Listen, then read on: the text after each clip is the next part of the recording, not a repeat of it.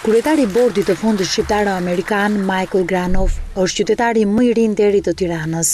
Kryebashkiaku Lulzim Basha gjatë ceremonisë së dhënies së çelësit të qytetit, vlerësoi kontributin e fondit në përmirësimin e jetës së qytetarëve të kryeqytetit, por jo vetëm.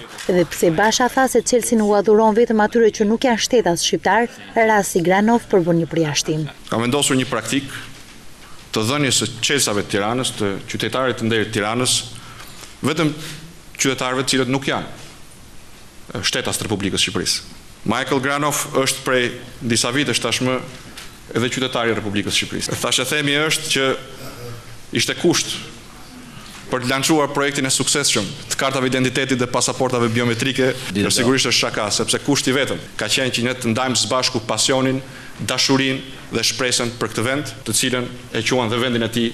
Ndërsa Michael Granoff tha se në këto nëntëmbëdhjetë vite që bashkëpunon me Shqipërinë, Ndryshimet janë të dukshme.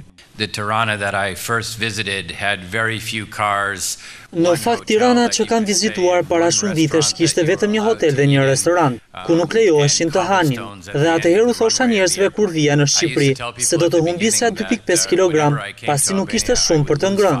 Ndërsa sot ndodh e kundërta, pasi unë fitoj dy pikë pesë kilogramë.